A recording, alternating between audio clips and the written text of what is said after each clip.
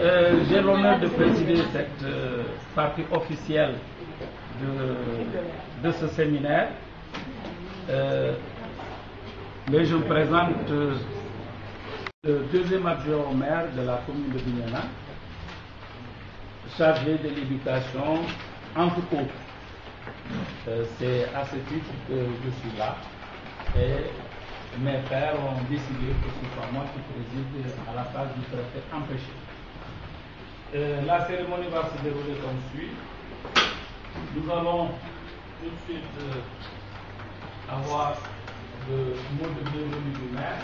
Donc, euh, pourquoi on est là. Il va.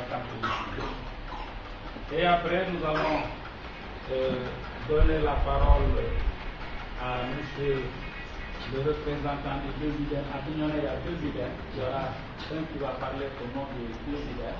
Donc c'est vrai que maintenant c'est. Et ensuite, nous donnons la parole au responsable de l'AMO, puisqu'il s'occupe aussi des enfants.